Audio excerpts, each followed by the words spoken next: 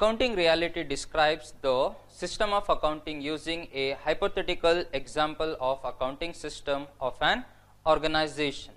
Following statements of reality becomes the starting point of discussion in describe, describing the ER model concepts. Example, reality. Accounting transactions of an organization are documented using a voucher. Each voucher is assigned a serial number which begins with 01 indicating the first voucher of the accounting period. There is only one simple transaction voucher used for documenting the transactions. Each voucher documents date of transaction, account name along with its account code for debit as well as credit entry.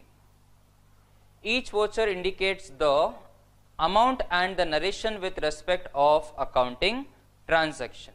Then support documents such as bills, receipts, contracts, etc. also may be attached to an accounting voucher. Each voucher is prepared by a particular employee and authorized by another employee. There is an exhaustive list of accounts with respect of which the transactions are documented. Each account carries a unique numeric code with its width equal to 6 digit. Each account is classified as belonging to one of the accounts types like expenditure, income, assets and liabilities.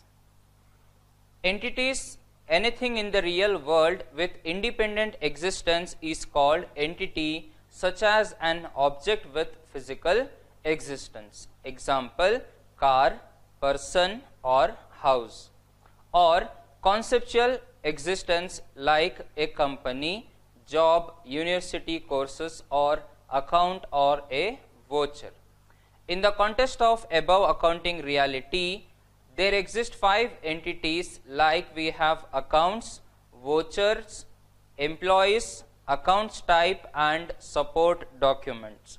The accounting data is captured through these entities. Let us see what is attributes. Attributes are some properties of interest that further describe the entity such as height, weight and date of birth in case of a person and code and name in case of an account. An entity has a value for each of its attributes which is the data stored in the database. There are several types of attributes of an entity that have been described here. So like we have composite versus simple or atomic attributes. The composite attributes can be divided into smaller subparts to represent some more basic attributes with independent meaning. The simple attributes cannot be further divided. For example, name of a person that is normally divided into first name, middle name and last name is a composite attribute. Height of a person is a simple attribute as it is divide of further subdivision. Then we have single valued versus multi valued attributes. An attribute with a single value for an entity is single valued as opposed to those with multiple values. For example, height of a person is single valued attribute while qualification of that person are multi valued attributes. The next we have is stored or derived attributes. So, when coming to the stored or derived attributes, two or more attributes may be related in such a way that one or more becomes basic while the other becomes dependent on that basic attribute. For example, date of birth of a person is a stored attribute while age of that person is derived attribute. Then we have null values. Absence of a data items is represented by a special value called null value. There are three situations which may require the use of null values. The first situation is when a particular attribute does not apply to an entity and the second is value of an attribute is unknown although it exists. Then the third is unknown because it does not exist. Then we have complex attributes. So coming to the complex attributes are the composite and valued attributes may be nested or grouped to constitute complex ones. The parentheses are used for showing grouping of components of composite and attributes. The braces are used for showing the multi-valued attributes in the context of the example on accounting reality. The following attributes specific to each entity type have been stated here. So let us see what type of entity type we have and what are the list of attributes. So when coming to the entity type, the first thing we have is accounts type. So coming to account type, we are going to use the attribute is CATID, which is nothing but the category ID or directly we can write category. Then we have the second one accounts. So when coming to accounts, the attribute which were used is code, name and type. The next thing we have is employees.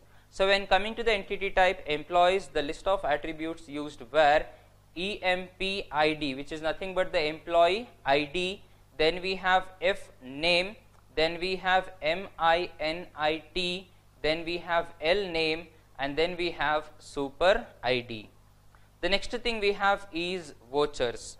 So coming to vouchers, we are going to use the attributes where we have VNO which is nothing but voucher number then we can use date debit credit amount narration authorized by and prepared by then we have support documents. So coming to support documents we have SNO which is nothing but serial number. Then we have date then we have name. Accounts type is a conceptual entity that is meant to express the various categories of accounts in an accounting system. The CAT ID is an attribute of account type entity that value of which is used to identify the category of accounts. Accounts is a conceptual entity that is meant to express various accounts each one of which belongs to a particular category of accounts in accounts type entity every account is assigned a unique code by which it is identified. The name attribute specifies the name of account and type refers to the type of account or category of account as mentioned above. Employees is a physical entity that is meant to express the various employees who are in some way connected with the accounting system. Then we have employee ID where we are going to enter it as EMP ID in short. So the employee ID attribute is meant to identify an employee. F name, MINIT and L name are respectively the first, middle and the last name of an employee. So when coming to the system we are going to use this short forms where we are going to consider F name is nothing but first name then MINIT is nothing but the middle name and the L name is nothing but the last name of an employee. And super ID refers to employee ID of the immediate boss of an employee. Vouchers is an entity that expresses various transactions vouchers. It is attributes together provide the structure of an transaction data. Support document is an entity which expresses various support documents that may be attached with a particular voucher of a transaction. SNO is nothing but the serial number attribute of this entity specifies the serial number of support document attached. D date specifies the document date and the name specifies the name of document that is attached while with the voucher. Then we have entity type and entity sets. An entity types is defined as a collection of entities which share a common definition in terms of their attributes. Each entity type is assigned a name for its subsequent identification. The attributes of entity type are used to describe it in the database.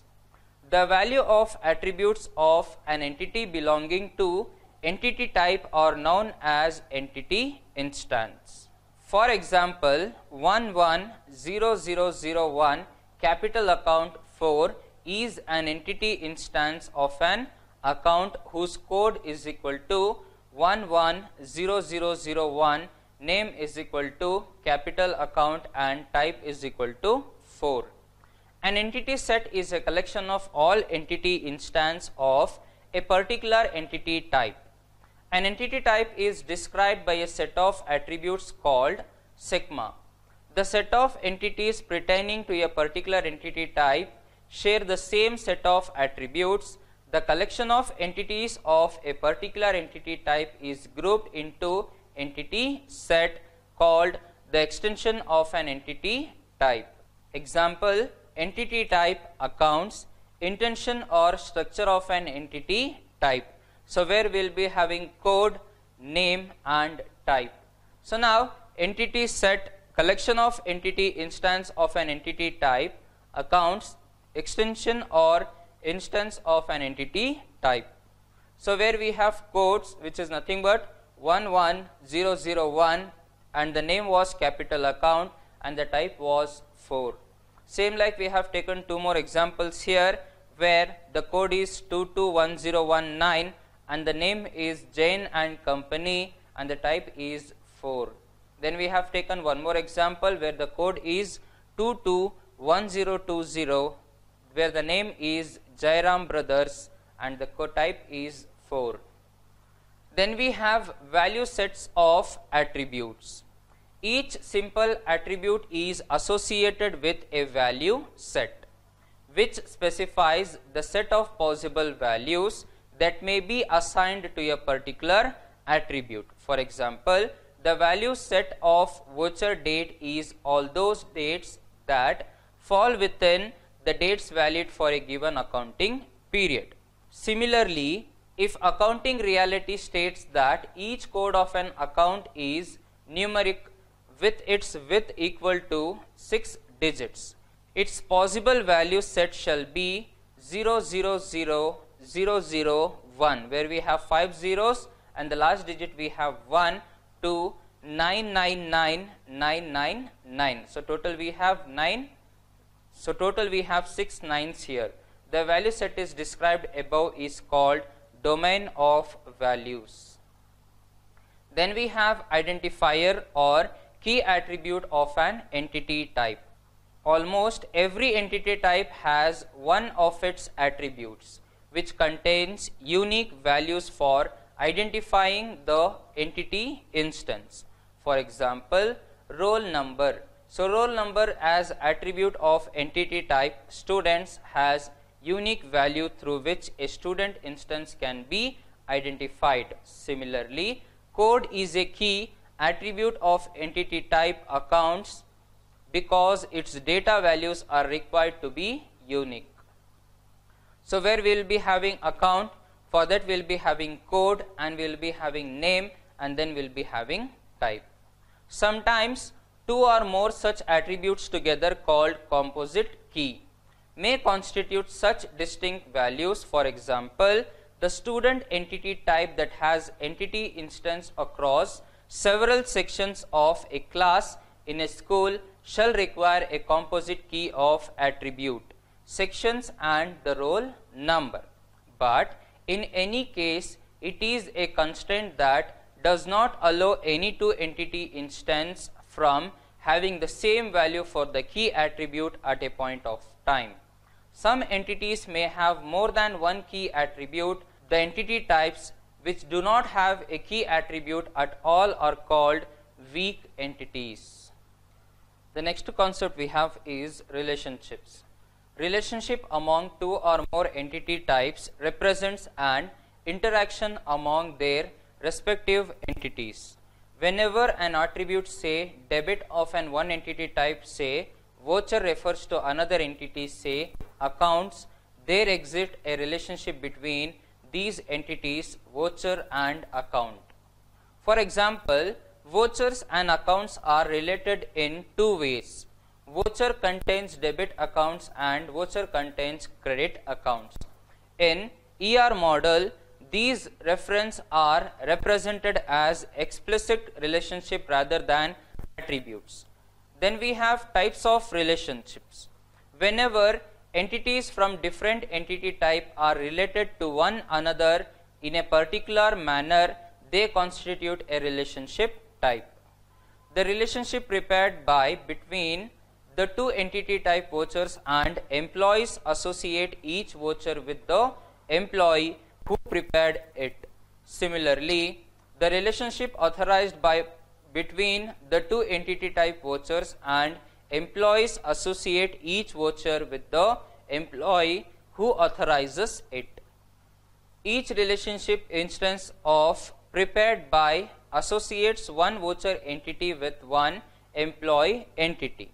In ER diagram, relationship types are displayed as diamond shaped boxes connected by straight line to the rectangular boxes which represent the participating entity type where the vouchers are connected to the prepared by then it is connected to the employee.